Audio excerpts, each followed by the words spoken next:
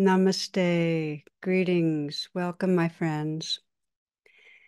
Executive coach and author Stephen Josephs has worked with many top business leaders and he guides them in transcending the egoic conditioning that actually limits their impact on other people and also their capacity to impact social change.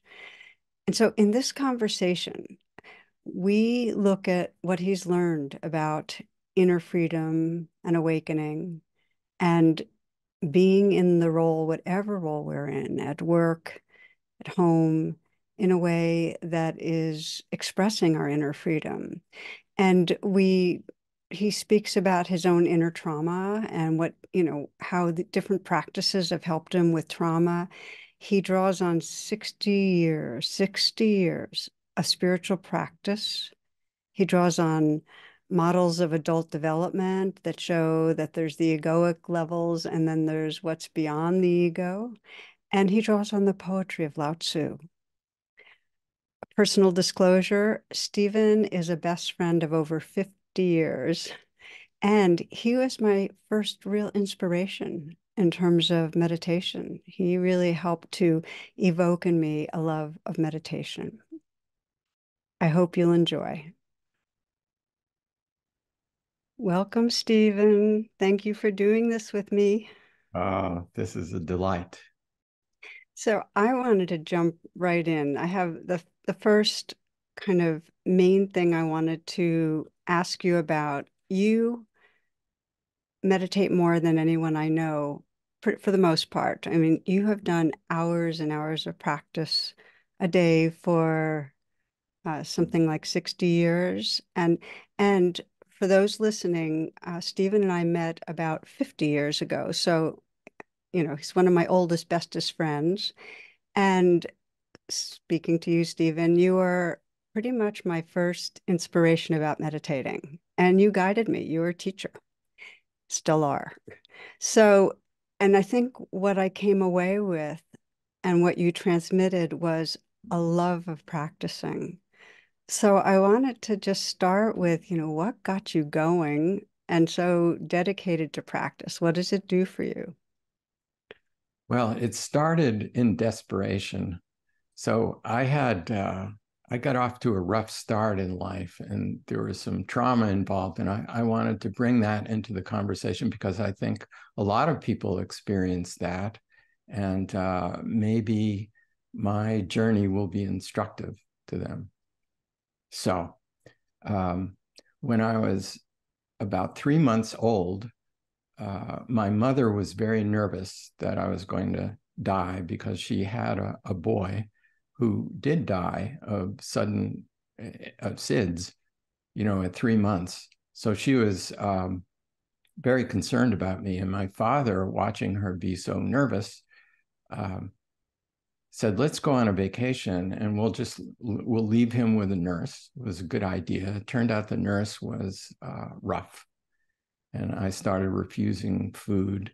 Mm. And uh, when my parents came back, uh, I was being fed intravenously. So that was that's tough at the beginning because there's no self and other. There's no sense of of uh, anything, and um, it's it's hard to get your nervous system set that way early on. And I didn't really know how upsetting it was until I was in my 20s. And I was um,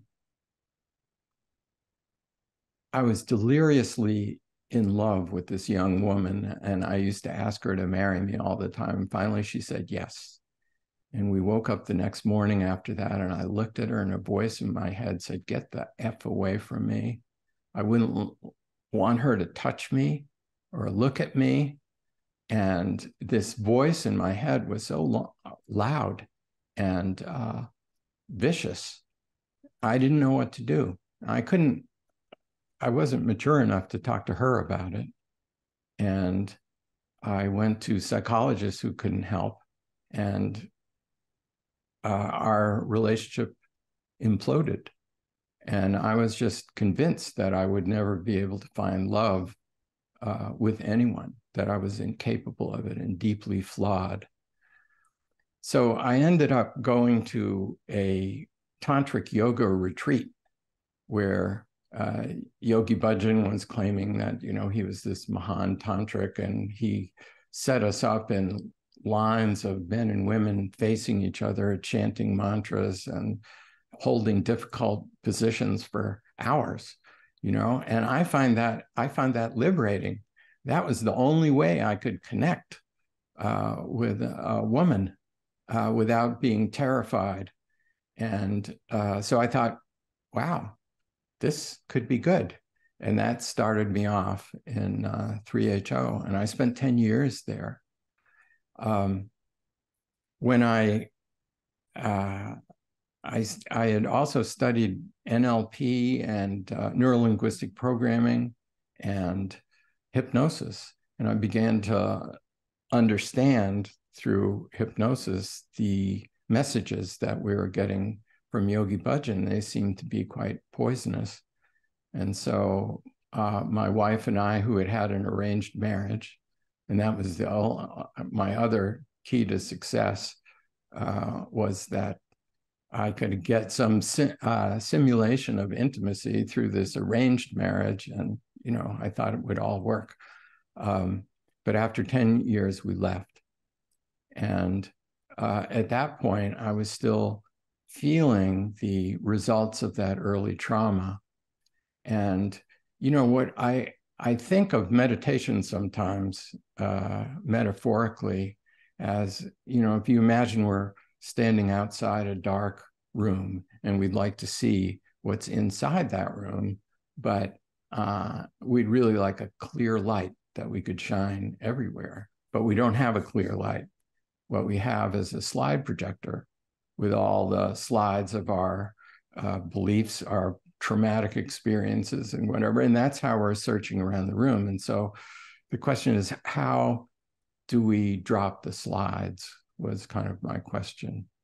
And um, so it it started out that way, but all the way through, um, I think that practicing uh, in the beginning it soothed me and I thought that was important. And it's it's only later in the process that I uh, found more uh, profound benefit from meditation, but that's how it started. Well, it, it, makes sense when you speak. I mean, that's one of the things that meditation can do. If you learn to just focus your attention and keep it really steady, it can calm and soothe your nervous system and I love your metaphor. I just think it's it's so cool just to sense that we're habitually looking at the same slides over and over again. The same beliefs about what's wrong with us or how we're separate from others or what we can't trust. And so as you describe it, as you matured, you started to be able to shine a light so you could see when those slides were showing and be able to let go of them and actually see what's make your way around the room. And I want to come back to the different ways you use meditation because um, I feel like you have explored a real weave that has, I would say, healed in a very deep way the trauma you just described. So I want to kind of come back to some of the practices. But in addition to meditating for you know six decades you've also been doing executive coaching for 40 years for a long time and you've been drawing on spiritual practices so so many of us um, want our work life to weave with you know our spiritual lives and you've done that you've you've wedded the two and could you just speak a little on how on what you do as a coach and how you integrate uh, some of these meditation practices? Well, for the first uh, 20 years, I used meditation sometimes with my executive clients, but I didn't really realize the value of it until um, I went into partnership with a very brilliant man, uh, Bill Joiner, and he introduced me to the idea of uh, psychological stages of adult development. And it understanding those stages really explained a lot to me. Um, so there are stages of adult development, just like there are stages of development with kids. You know, so a five-year-old cognitively and emotionally is different than than a 10-year-old and different than a 12-year-old or an 18-year-old. And it just but uh, with adult development, it doesn't automatically come as easily with age anymore. And people can reach a plateau. And so in our work, uh, we wrote a book called Leadership Agility. And in our work, um, we described two stages uh, that are very common among uh, leaders or executives in corporations uh, today. So one is the expert stage, and the other is the achiever stage. And the expert is is really the, their sense of self is demonstrating that they're experts, that they know stuff, that they have the answer. And the achiever is is in the same way ego involved, that there's a sense of of self that depends on recognition that they led the charge and you know. Those stages are really uh, useful in one way. They help us develop our skills and and capacities. So if i were going to get uh, operated on my by a cardiologist, I'd want her to have gone through this stage in her life where she was trying to be the best heart surgeon in the entire world. And that's uh, how she got her chops, to make the pun. But um, but there are stages beyond that. The trouble with those egoic stages is they don't recognize other people in the in the in a way that they could. And and because of that they don't use the collective intelligence of teams and groups in their organization. They can't really reverse roles with someone else and have that be meaningful. And it's difficult for them to their timeline is shorter and they don't see the ripple effects of their actions. Uh, um, but it doesn't mean that you need to progress beyond those stages uh, to be a successful leader financially. There are plenty of people like Elon Musk and uh, uh, Steve Jobs, for instance, who were just driven and drove other people really hard. Um, and their financial success is inarguable. Uh, on the other hand, I I don't think I'd like to spend much time in Elon Musk's head from what I hear about him. Yeah. So there those stages are we call them heroic stages where you're the hero in your own drama but post-heroic stages are really uh, where all the the wealth lies so tell us more about that because you did a very cool kind of project where you interviewed leaders and yeah. found out about what was beyond those ego stages. So, yeah, so please share. Yeah. So, um, when we were looking for people to interview, I would ask people that I knew to recommend people. And uh, I had three questions I would ask. You know, is there someone you know that we could interview uh, whose leadership has made a difference and you admire them personally and they've been in the game long enough to get over themselves. And i would watch their faces fall with that last criterion um, because it's rare. You yeah. know about 10% of, of leaders are at that stage. There's there's one i interviewed uh, i think i've told you about this one before. Uh, this man was an angel investor. So he had a sort of a portfolio of beginning companies and he would advise, you know, executives from those companies or entrepreneurs. And he described how he listened. So he would listen to their problem and then he would come up with an idea and then drop it and continue to listen. And then they'd come up they'd keep talking and he'd come up with another idea and then uh, he would drop that and then finally he would wait until he described it as as though he was filled from light from above and only then would he engage with the other person. I love it. I love it. I mean, how many of us are already planning what we're going to say? Already yeah. planning, barely taking in a thing that's going on. And there is something about being listened to, being heard, being seen. Um, I think of the great, you know, the leaders that are not caught in the, um, you know, heroic levels that are beyond that is that anybody that's with them is going to leave feeling better about themselves.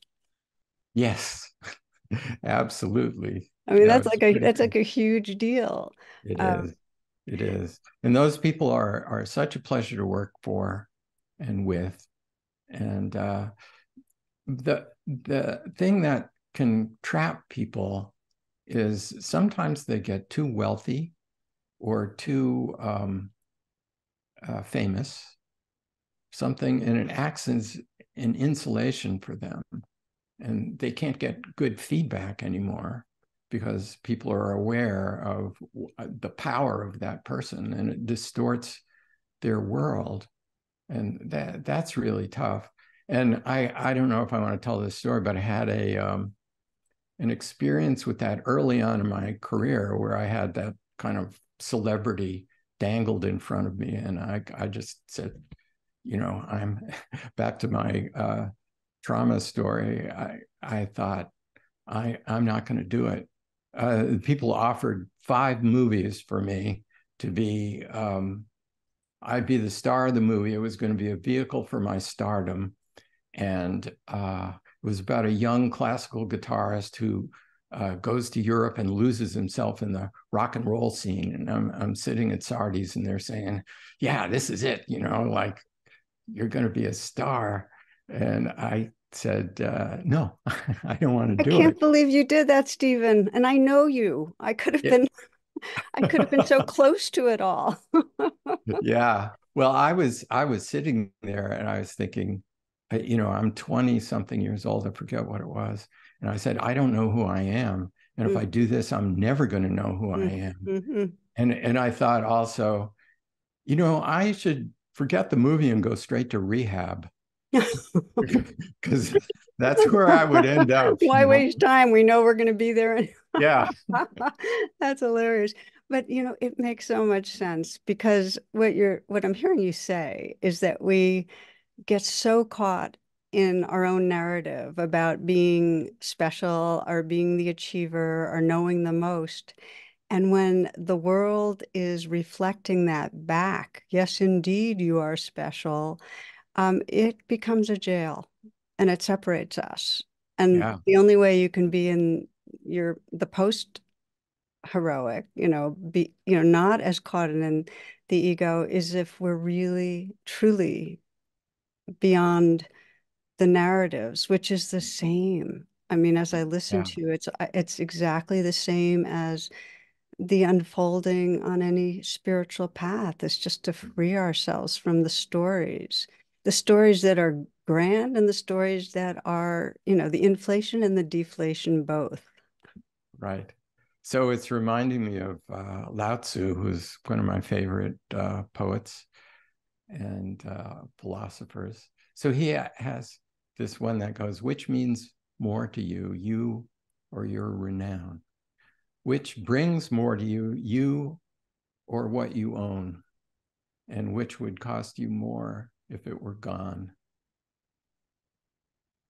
And and uh, he also has uh, another one. Um, well, wait, with that one, just yeah, it's so you know the Buddhists talk about praise and blame. Which means more to you, you or your renown? and and I'm just slowing down on that because um, we're such social creatures that our worth or our renown. I mean, it's very deep in our conditioning to go for that, to go for impressing. Like when I, I often will invite a reflection of somebody that you've been with recently that you really respect and how much of what you were doing was in some way to get a certain kind of response from them. Of, you know, approval or respect or admiration, it's very hard to put that down, to not to not in some, I mean, that what Lao Tzu is suggesting is a really big deal, to not care about our reputation.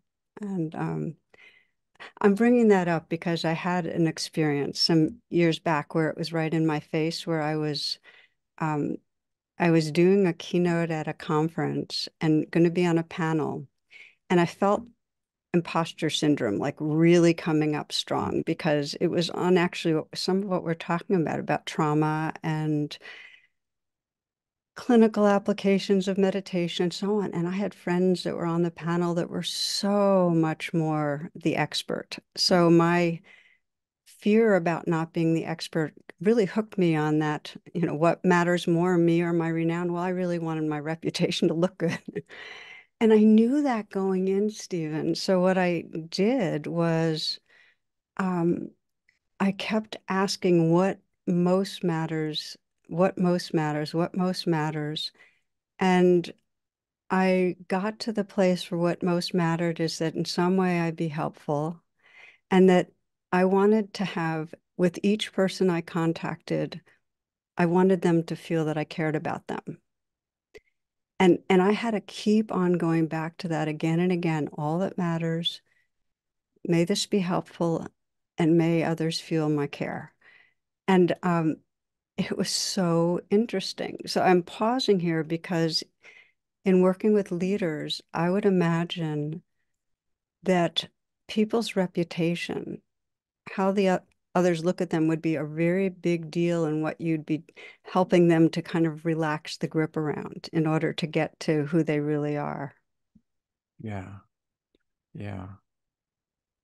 I um so I started thinking about Leonard Bernstein because uh, I had this interaction with him where for some reason I was in Key West and I drove him two mile uh, two hours to see swim with dolphins.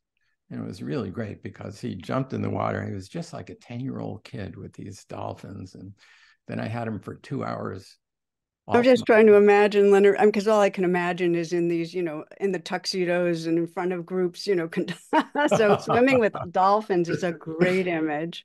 I yeah no it. and uh, he just loved it. So i asked him i got to ask him anything I wanted to about music. So I asked him, well, so if you're a guest conductor and you're conducting a, uh, a symphony that you've conducted many, many times, what, uh, how do you prepare for it?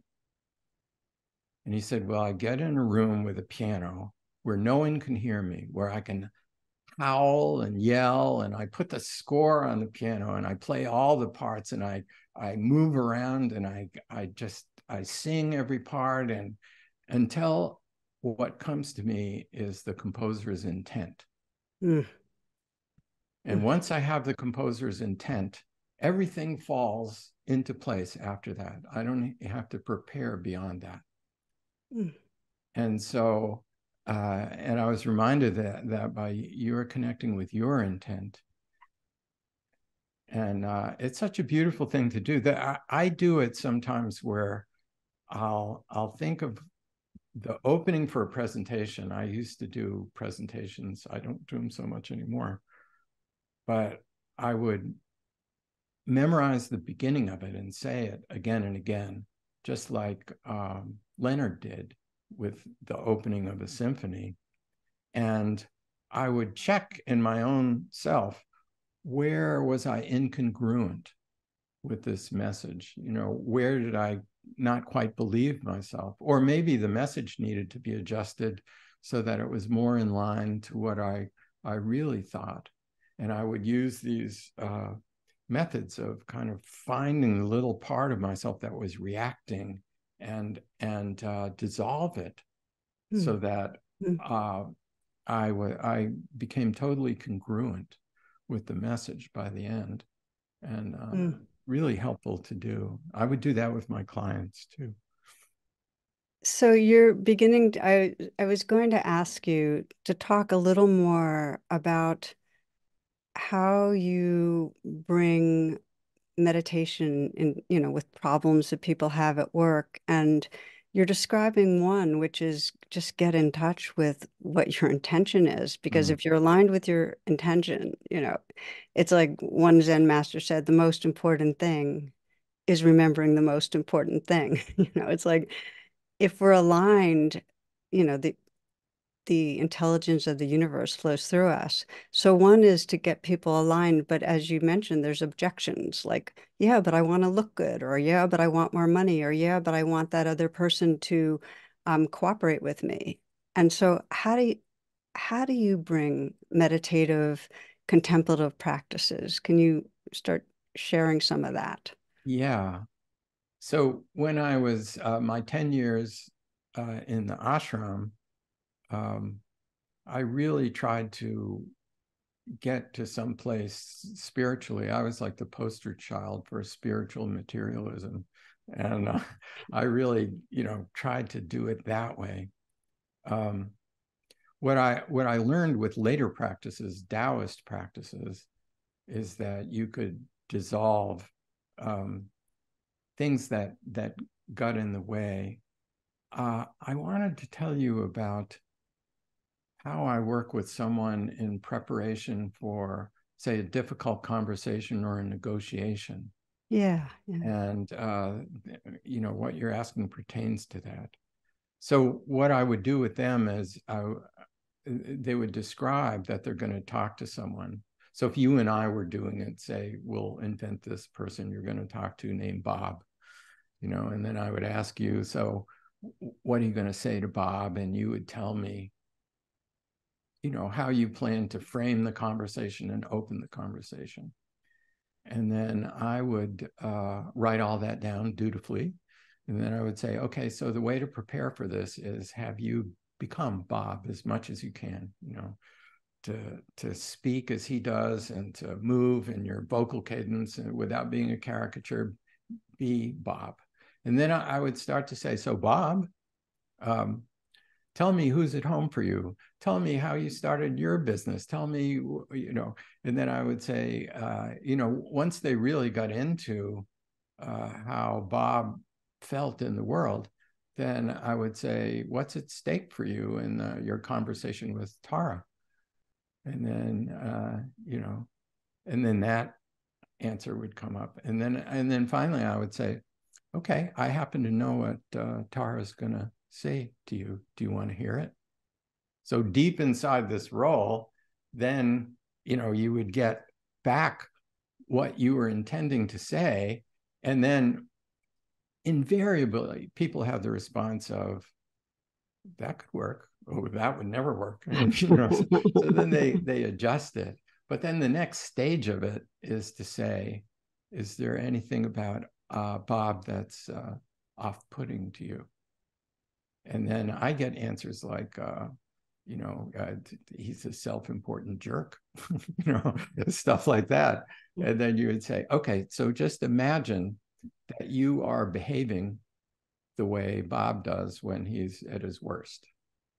I know you don't. It's probably why you don't like it in him, but uh, just imagine it.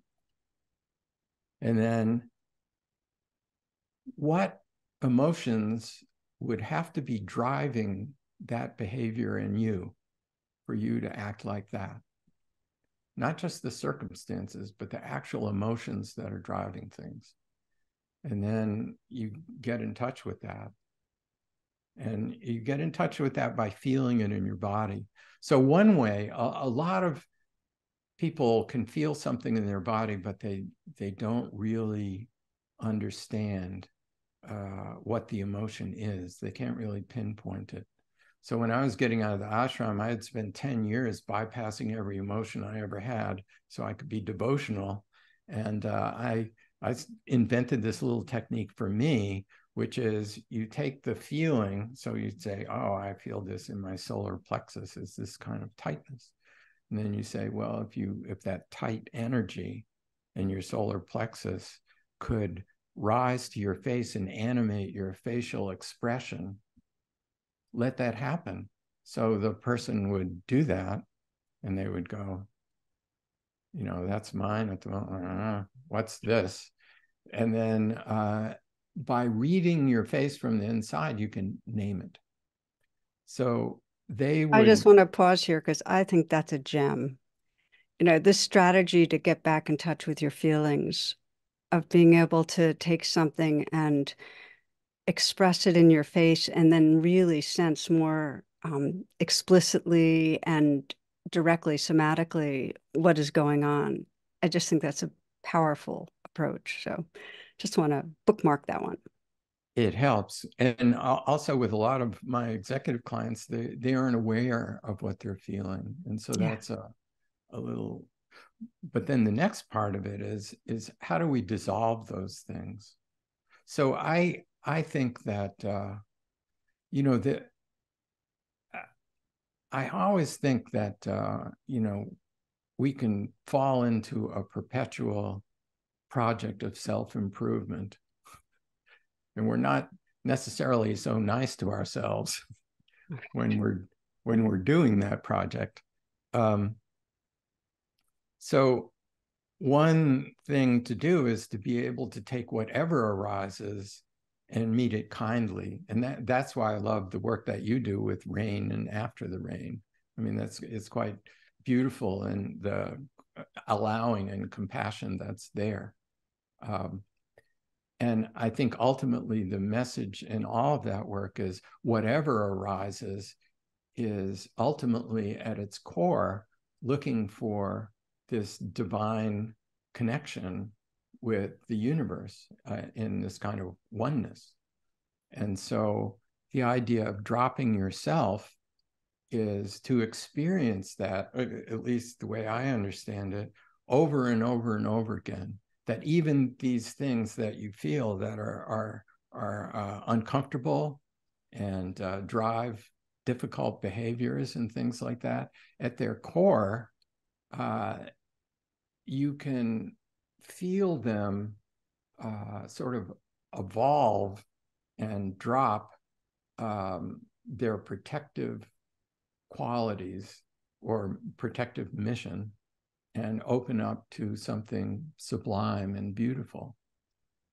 And so once we do that over and over and over again, this critical mass starts to shift over to the side of I actually have confidence that uh, everything that I do is, uh, you know, how plants are heliotropic. This is more of like union tropic that everything is going in that direction. And uh, that's, uh, that's a beautiful thing to experience. So I want my clients to experience that. I want me, I want myself to do it too. And uh, that's been important for me. Yeah, I again I want to kind of just slow down because what you're saying feels to me at the heart of all healing is that it's not, we don't heal regardless of the difficult stuff. It's almost by opening to those energies and trusting that in opening to them, there's there's a transfiguration that happens. It's like when I say to fear, thank you for trying to protect me. Like I get that that fear is life loving life, that there is no emotion that's not about life loving life that that when our body starts realizing that we start trusting the weather systems that are inside and when we open to them they actually transform to be more intensified awareness and love they do transform in that way and i feel like you're when you describe dissolving of meeting it compassionately opening to it inviting it to join to rejoin the whole that rejoining is a deepening of awake and loving presence. Yeah. It's it's it's it's beautiful. So I have I have a question. I kind of want to roll back because what you just did is you kind of took us to what the possibility is. That when you can get people to um, role reverse that that empathy, it's kind of you're activating that part of the brain that's empathetic. When you can get them to to bring attention and learn how to feel things in the body, then there's actual deep awakening. let's go back to the conversation and with Bob, because the question I had was, so my the Bob in my life has um, in some way betrayed my trust, and I feel, you know, enraged and hurt, and you know, I feel very strong feelings, and I'm wondering if you know I'm going to in some way talk and try to have a clearing with Bob. Um, but if those emotions are strong, and you asked me, well, what's what's going on for Bob and be Bob, I, I would have my emotions would block that initial step towards empathy. So I'm Yeah. wondering how do you how do you let's say somebody's having those feelings, what would how would you start working with them? Uh, to sort of peel off the top layer. So I want to just uh, uh, one of the methods that I really love is uh, Connirae Andreas's wholeness work, and it it pertains to this really well. So what she would do, and what I would do using this work, is I would say. Uh, so there's this this idea that um, you're having these emotions, and then there's sort of a reaction to having them. Like I, I you know whatever that is i don't want to have them i don't want these to get in the way i don't want so that's where you start working you in her work you would say where is the one who doesn't like to have these emotions So let's let's slow it down and stay with this example. okay. And first of all, to the Bobs of this world, forgive me, it's not you. just don't want any misunderstandings here. Mm, right So there and the reason I'm bringing this up is because I think the most crippling suffering in the world is coming from polarization, mistrust, betray, you know, the whole thing. So mm-hmm. I come to you and I say, you know, somebody in our firm has behaved in a way that I feel like completely it, it violates me, it harms me. I feel like they've betrayed me. I'm having all these feelings and I'm really angry. They did wrong. They are bad.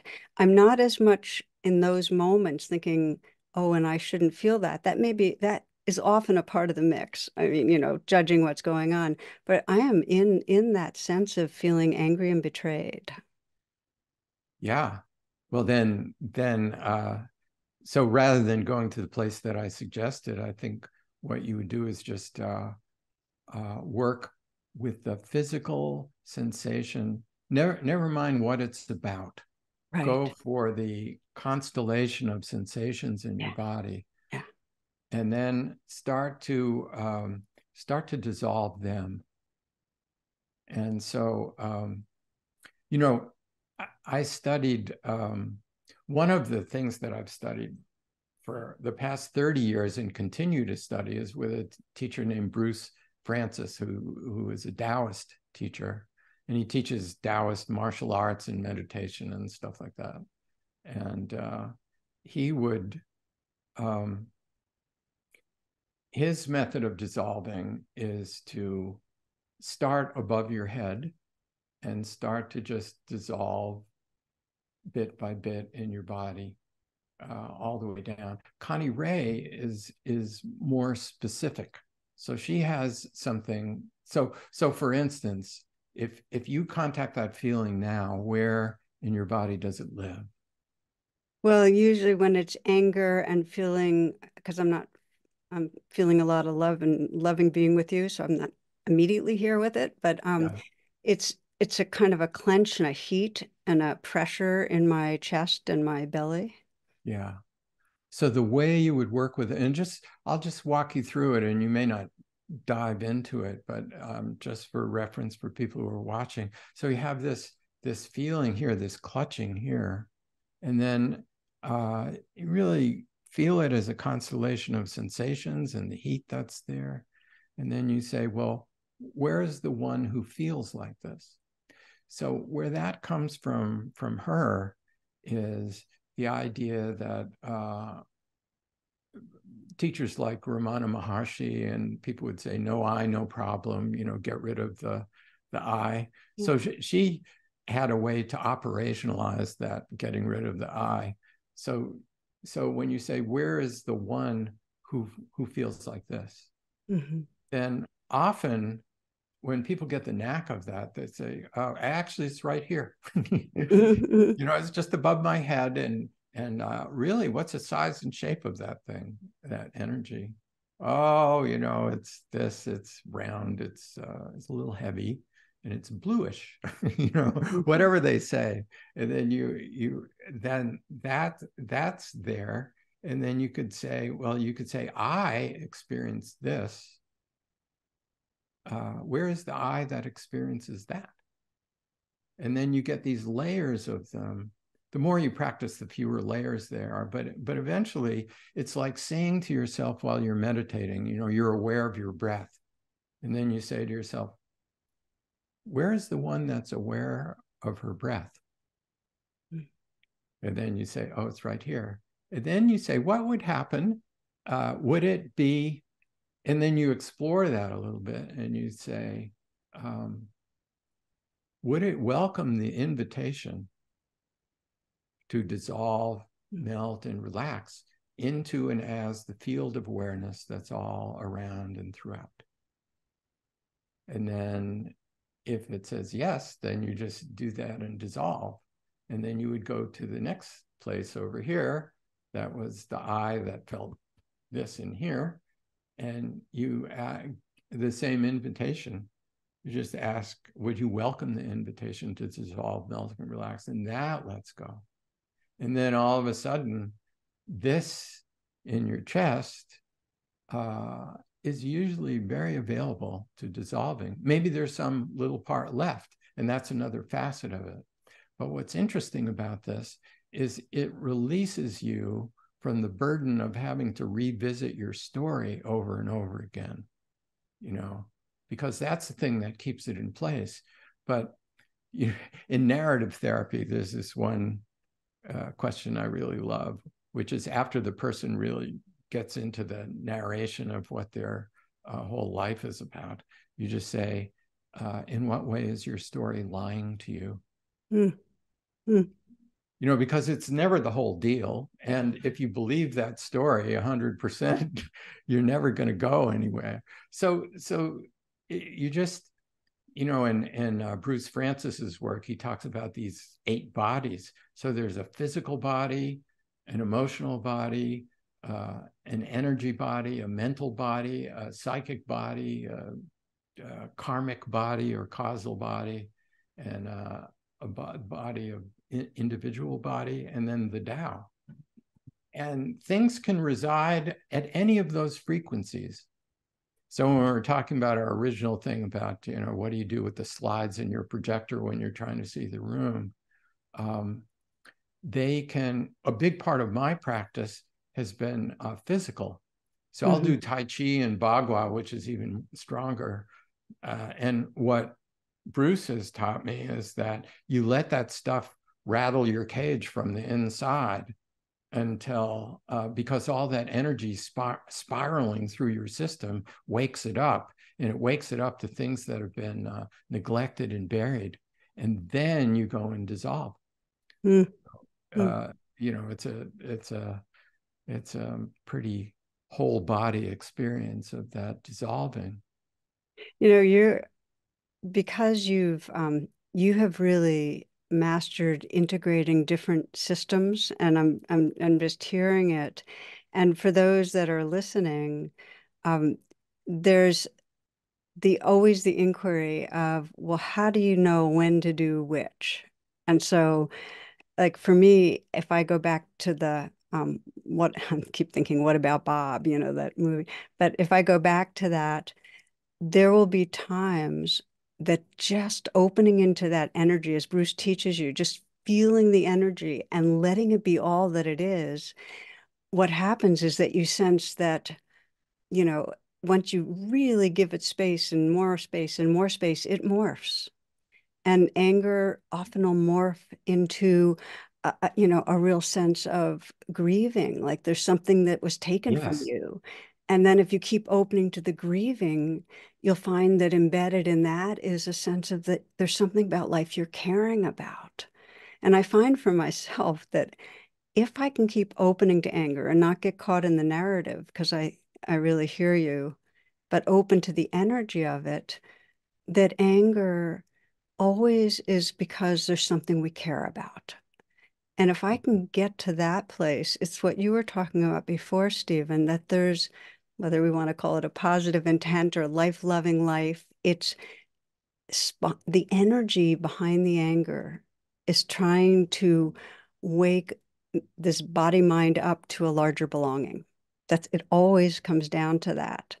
So, so, so sometimes there's tracking back, just the way I described. Sometimes there's more directly what you were talking about, where you invite the anger to the energy to dissolve into a larger belonging. And when that happens, you sense that it already was a part of it, that, was, that, that there's nothing, no energy in us that isn't, it's like waves in the ocean that doesn't belong.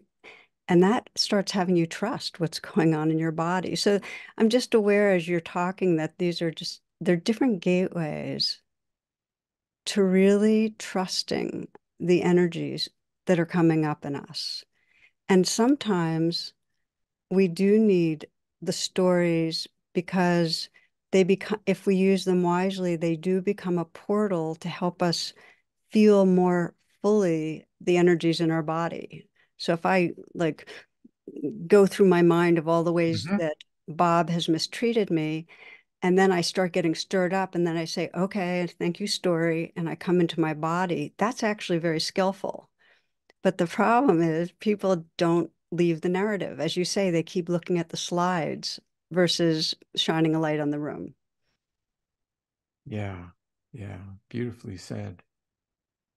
You know, I think also the story is useful early on because if people grow up uh, in abusive families, they swallow a story that's the story of that family and they, they don't even understand how bad it is you know so so they need to get into the story just uh, uh, you know Gabor Maté uh, spends a lot of time there you know, just trying to get people to understand what happened to them. So if you have the story, there's some explanation for it and the, uh, uh, of how you're feeling now. So it took me a long time to get to that story of why I had that voice in my head that was uh, so horrible, mm. and uh, I I got that through psychodrama, mm. mm. stories, and uh, acted them out. And also in psych- psychodrama, they they often use that principle of make it bigger, make it bigger, yeah, bigger, yeah, bigger, bigger. Yeah, you know, yeah. And it does do what you described. It's the opposite of resisting, and whatever we resist gets locked in. What we stop resisting and we invite actually starts moving. Movement's the deal. You want things to move. Yeah, yeah. So um, yeah, I think that uh, um, staying with the story, uh, it, it's almost it's a kind of alchemy. There's energy locked up in it. Yes. And if we can learn how to liberate it, uh, you know, that's a wonderful path. So I feel like what we're doing, and I and I really I heard something that you said that really helps, is to sense it a bit developmentally that there's a certain amount of time we all need to spend in being able to um, sense where, what the story wants us to pay attention to and to go into our body to feel the layers that you know under the angers the grief and, and to start getting familiar with the unlayering the undoing the unknotting of those kind of clenches in our body.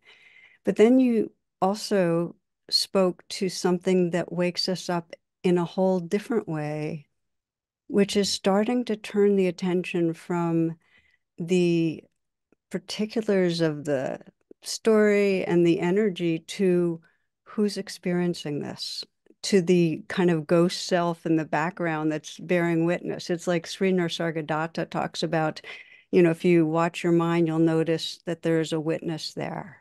And if you become aware of the witness, you'll discover a light that is your own true nature and frees you. So we keep stepping back to sense that there's nothing solid. The, the story that was telling us who we were was just a story, and that there's this beingness, this vastness, this field of infinite field that is beyond words and more the truth than any story. So I love how you were describing uh, what you've gotten from Connirae, Andreas, and I will post, I will write a note on to that book, how you do that stepping back to sense what's beyond the narrative of a small self. And I wonder if this might be a good time, Stephen, for you to just guide us a little more directly so that people who are listening can get a taste of that further evolving of practice where we can kind of uh, some it's called the non-dual where we're getting over ourselves in a really liberating way. Sure. So um yeah let's do that. So let's just kind of uh, settle in. However you settle in uh, if you're driving a car keep your eyes open. Please, please. and, uh, you know, just align your body. Good way to do that is to let the space in the base of your skull just gently expand and float up a little bit so that your head is nicely centered over your neck and the weight of it goes through your neck.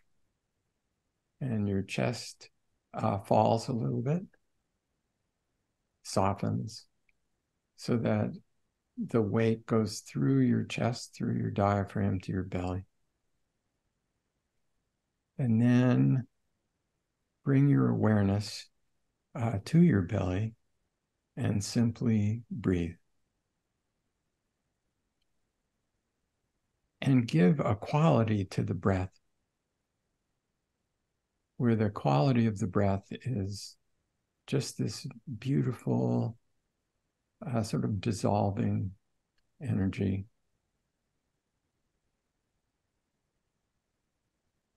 It's easy to relax as you exhale. You let everything go and just fall into alignment. And on the inhale, as your belly expands, just feel any tension or constriction in your belly, just give way to the breath. Just dissolve in response to the breath. And then also breathe into your lower back. The torso is like a cylinder that breathes in all directions. So, breathing into the belly and the back opposite the belly and even the sides. And on the inhale, yield to the breath so that with each successive inhale, there's a little bit more room for the breath in your torso. And then bring your awareness so that it also includes the your belly and the level at your diaphragm. Same thing now, breathing into the belly and the diaphragm, front, back, sides. And rather than trying to push anything out, you relax and let it expand as it wants to. And only as far as it wants to. And then breathing further up to the chest, the heart center. Breathing between your shoulder blades. So now the breath can incorporate the belly, the diaphragm, and the heart center. You can even imagine, if you want, a pearl of light going from your belly up through a central channel from your perineum to the top of the head. So it rises on the inhale and settles back down in your belly on the exhale.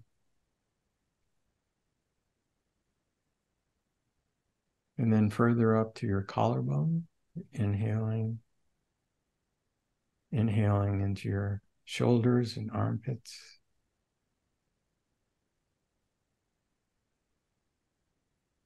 Yielding to the breath on the inhale. Let any constriction just offer itself up and yield to this healing chi that rides on the breath. And then finally, all the way up to the top of the head. Slow the breath down, soften it.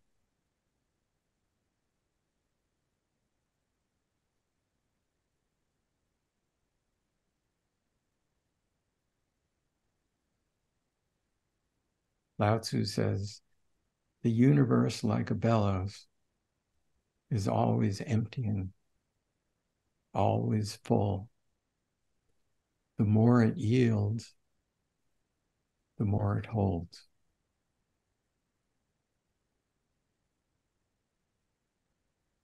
So now letting your awareness expand through your torso and head so that it's out to your skin.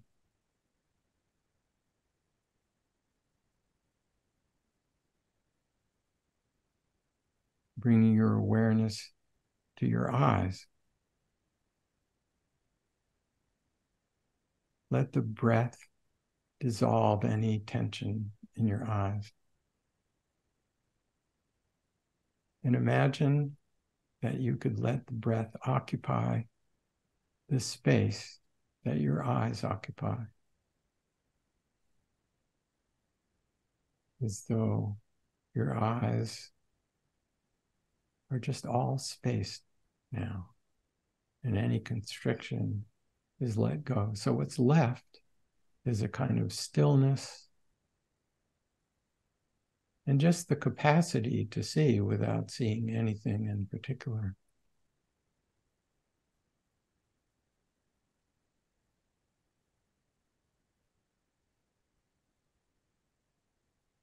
Can you also bring a dissolving breath and awareness to the space that your ears occupy.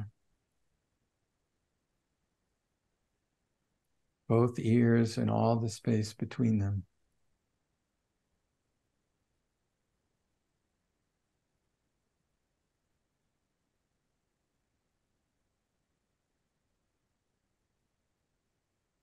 And you rest in the space that your tongue occupies.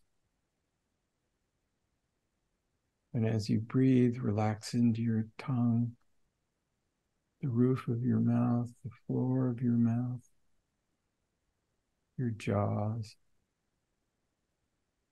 the base of the skull, everything at that level. Letting breath penetrate and relax all constriction there. And then last, can you rest in the space that your brain occupies under the dome of your skull?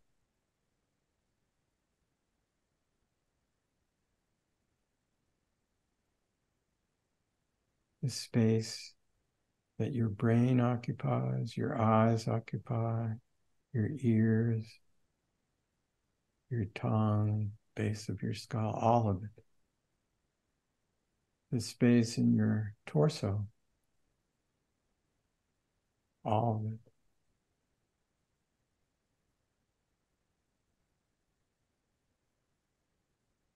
Now, feel into the space in back of you, in front of you, to the sides, above you, even into the earth. And you just be in the space that's outside you. And be in the space that's inside you.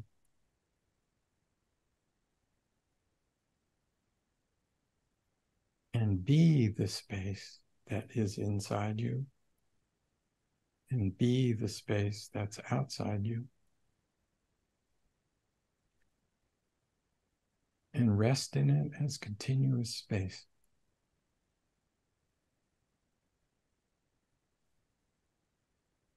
So there's movement in your breath, and yet stillness underneath all movement.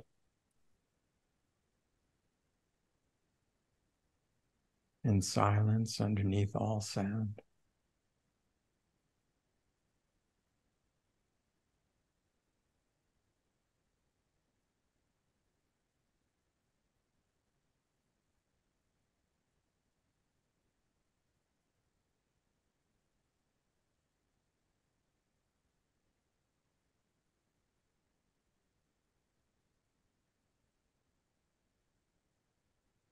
So, as that space, Lao Tzu says, by never being an end in himself, by never being an end in herself, she endlessly becomes herself.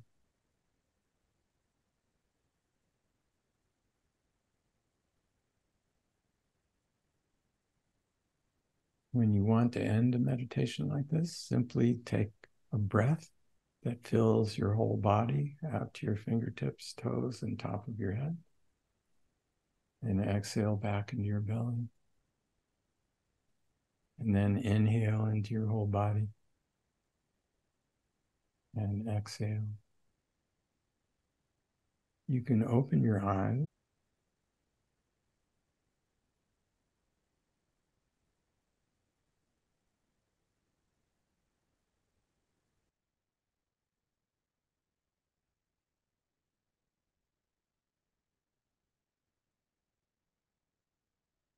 Thank you for that.